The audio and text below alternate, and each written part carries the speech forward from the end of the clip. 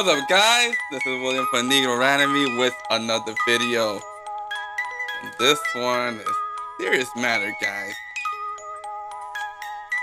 This is a serious one right here. We're talking about what happens when Keisha wants to unload on a lady. And y'all, there's plenty of viral videos of Keisha's out here knocking people out and nobody ever holding them accountable, even though they got the video out here on World Star Hip Hop. Nothing ever happens to them. Until today, guys. Until today. Just imagine, guys, you out here playing, you know, you're watching a game with a, a baseball game and your kids are out there playing baseball.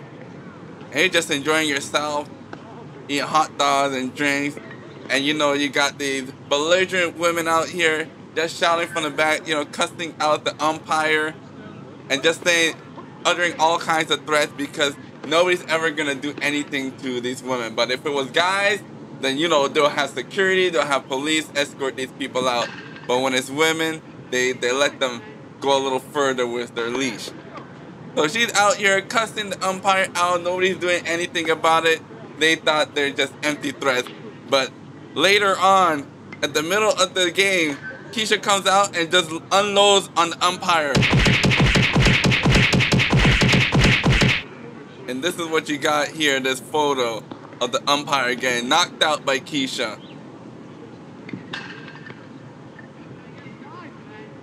And everybody thought that was so funny. And, and here, here's Keish, Kiki, you know, uh, this is her response of what she's gonna do.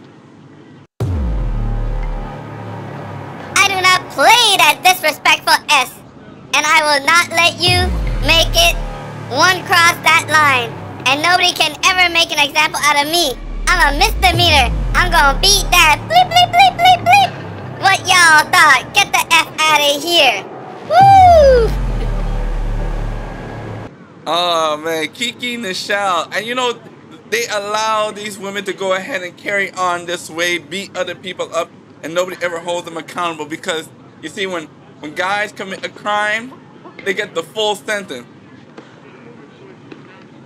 But when a woman commits a crime, they let them go off easily, and that's why these women are out here acting a fool and think they can get away with it.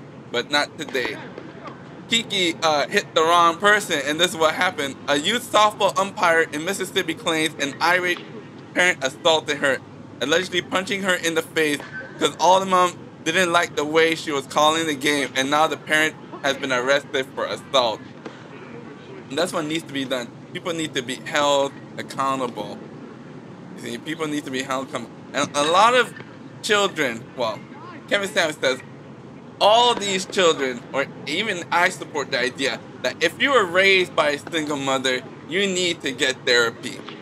You, you should get therapy. The government should automatically be giving out at least 40 hours of therapy for anybody raised by a single mother because you would never see this type of behavior with a, a, married man out there playing softball. But you'll see this type of behavior with these hood rat chick, real ghetto out there. And you can tell she, she talk, the way she writes and types stuff out is real ghetto out here. And that's what's going on here. This is crazy stuff going on. So Moore said the mother of an MVP named Kiara Thomas allegedly began yelling profanities, saying that I will slap the F out of you, B. And Kristi was calling the game. Kristi tells us Thomas was asked to leave the field, but refused to do so and told her she'd be waiting to confront her after the game was over. Would they allow a guy to be talking crazy like this, talking about they're not going to leave and they're going to be waiting for them out in the parking lot? You know, they, they, they let women off with a longer leash than they would with guys.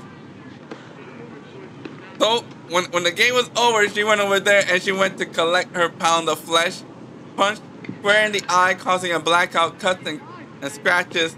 Just, just knocked her out, man. Just just knocking her out silly.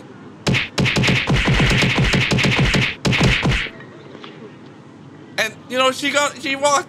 Nobody did anything about it. They let her walk and drive off. Like, come on, guys.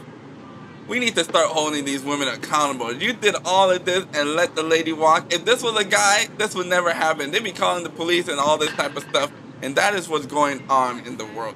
That they talk about equality, but only when it benefits women, but not when it benefits men. And that's why they're gonna keep going on this way unless somebody holds them accountable. Hold these women accountable to the same rules that guys are getting.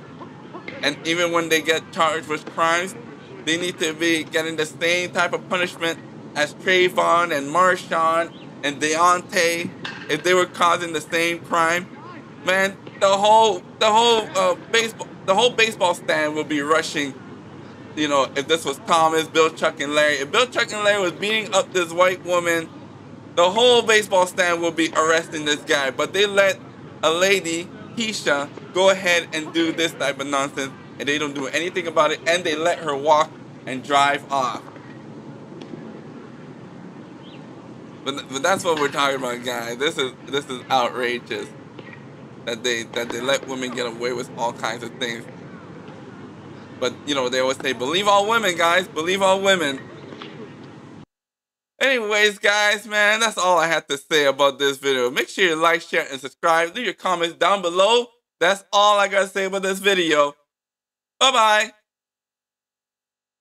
Please, I don't have any time for any gossip now. Eh? Yes. Look at you.